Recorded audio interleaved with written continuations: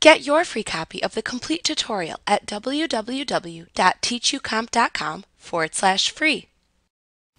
At the bottom of the application window is a long, thin horizontal bar in which you find objects such as the zoom slider and the document view buttons.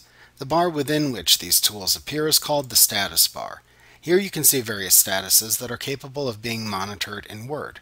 You can choose which statuses you want to show or hide in the status bar. You can see what statuses are currently shown or hidden in this bar by simply right-clicking your mouse anywhere in the status bar to view the Customize Status Bar panel. This panel shows a listing of the available tools and statuses that you can show or hide in the status bar. Any objects that are listed and appear with a check to the left of their names are currently being shown within the status bar.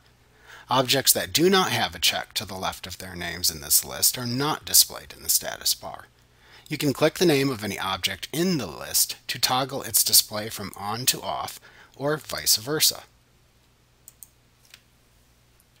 Like what you see? Pick up your free copy of the complete tutorial at www.teachucomp.com forward slash free.